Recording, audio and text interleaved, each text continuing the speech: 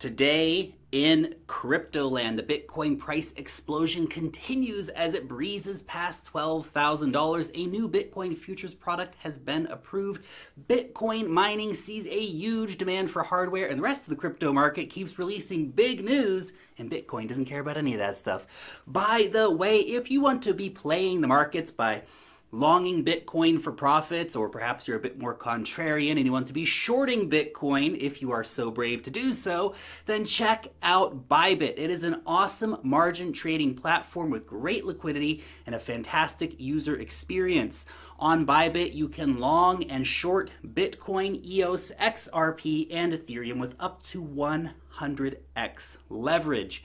Bybit is a margin trading platform, which means that it is a high risk but also high profit potential exchange.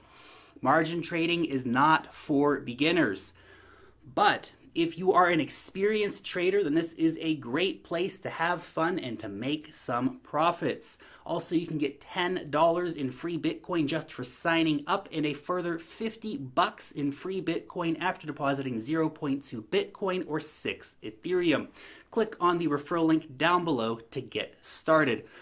And if you are in the US, then you'll need to use a VPN to access Bybit. So, Bitcoin. Wow. What a day, guys. Bitcoin spent most of the morning teasing us with that $12,000 price level, and then blammo! Right across 12,000. Duck, yeah, man. Bitcoin, yeah! Ugh, get some. Woo!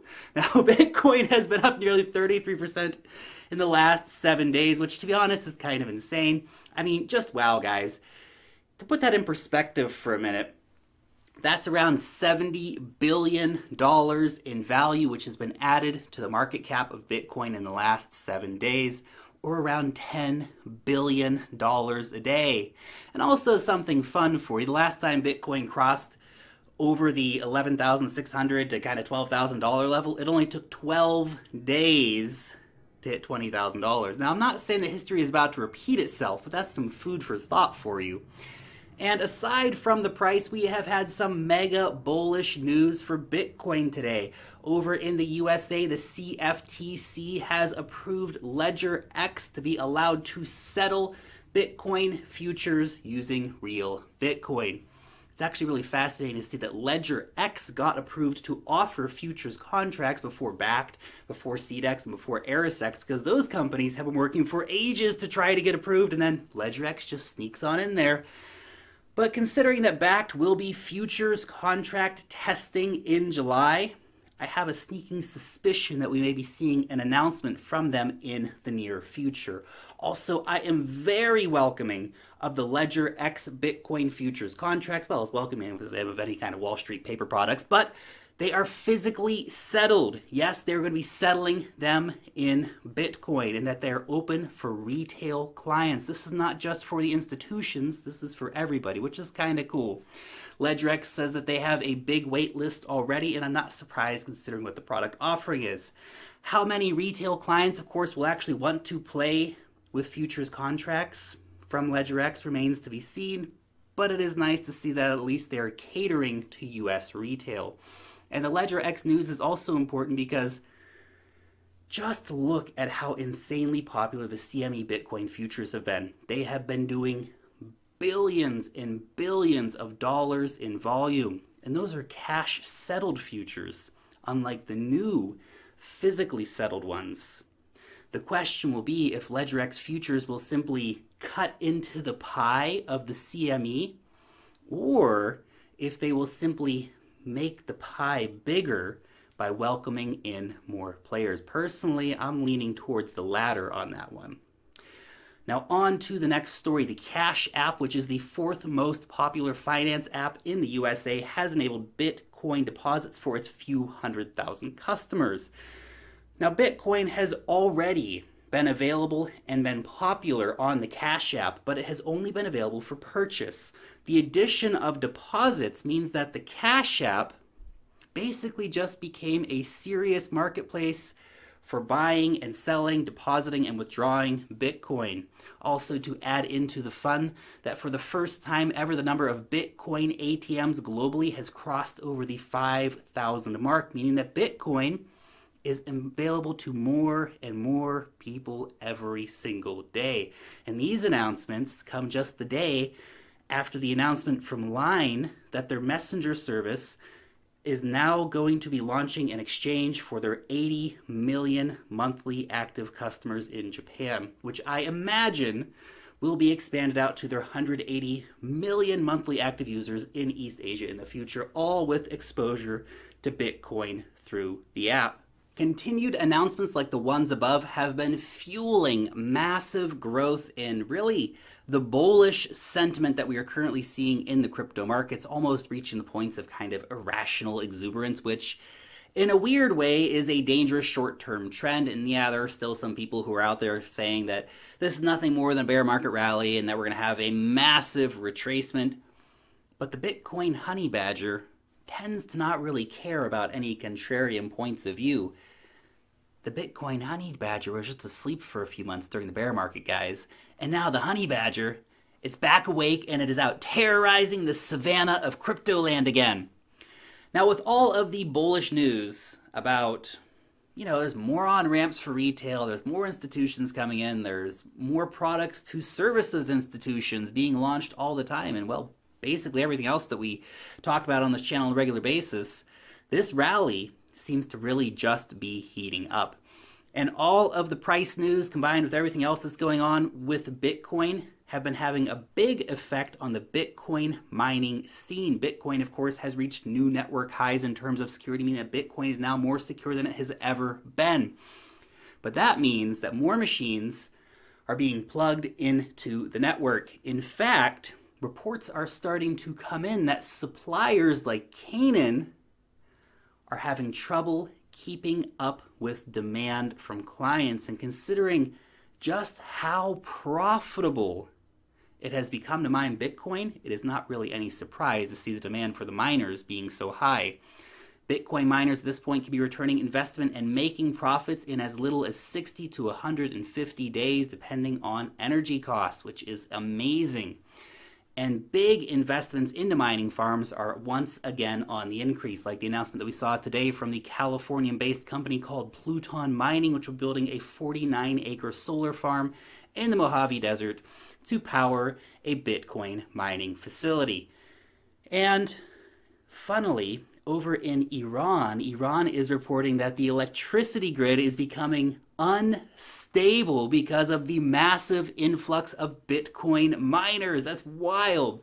With reports that electricity consumption in Iran has increased by 7% in the last month. The energy minister has declared that miners will be found and shut down. Just try, man.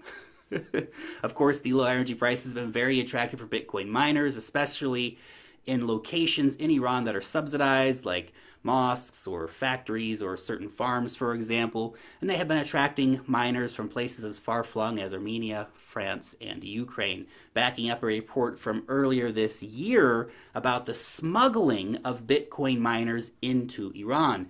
Iran, by the way, is one of the cheapest places in the world to mine Bitcoin, making anyone who can successfully smuggle miners into Iran massive profits. Even the old generation Bitcoin miners would be turning big profits in Iran. And a reminder that Iran is also a country where Bitcoin sells at a premium. So those miners are making extra bank if they're selling on the local market. No matter the adversity, no matter the hardship, no matter the pain, Bitcoin, it finds a way. And while all of the attention continues to largely fall on Bitcoin because it is leading the price rally, there continues to be a lot of things happening in the crypto markets outside of Bitcoin. We have new products launching, we have new partnerships being announced, we have new technology being developed. Just look at some of these big stories. This is just a sampling from today. VeChain has announced a massive partnership with Walmart China. So, Walmart China will now track food in their supply chain using VeChain's Thor blockchain. Walmart China announced that 23 product lines will be tracked using VeChain. That is a massive nod of approval for VeChain, and that there are plans to release another 100 products covering more than 10 different product categories. Wow, that is incredibly encouraging to see such a big company like Walmart using a public blockchain like VeChain. Fusion is five days away from the release of their decentralized finance focused blockchain on mainnet. OmiseGO is launching their own cryptocurrency exchange called Go Exchange.